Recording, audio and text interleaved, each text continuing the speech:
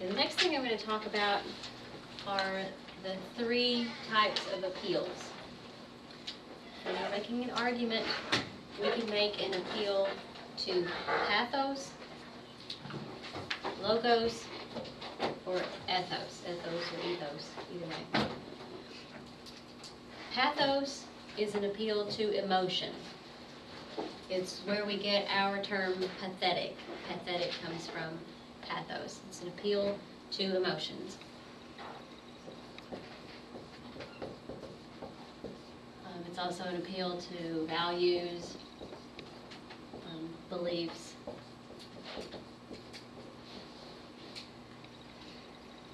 That's what pathos is.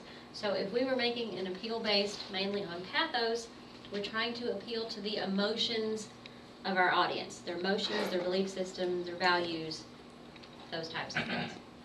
So we might use some sort of um, tragic story or something to appeal to their emotions, to kind of pull on their heartstrings. That can be an effective way to get your audience to kind of to persuade them in your direction, whether or not you're persuading them to think a certain way or to actually do something. So we have pathos is our first appeal. The next appeal is logos. Logos is where we get our word logic, comes from logos, so you can kind of think of that. Logos is an appeal based on logic or reason.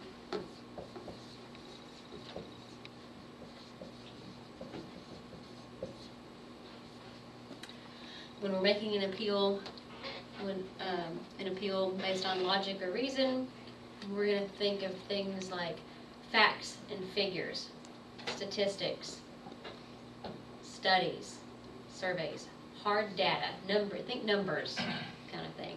Not always numbers, but we're going to stick with facts and figures, that sort of thing. So we're appealing to the reasonable side of our audience by using um,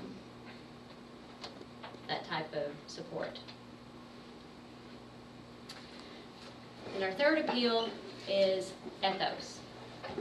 Ethos is an appeal, ethos is an appeal based upon ethics. Our word ethics comes from ethos.